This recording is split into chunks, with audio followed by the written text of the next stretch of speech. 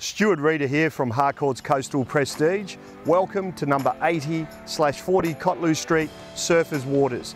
This is a very upmarket enclave. This property here, very unique.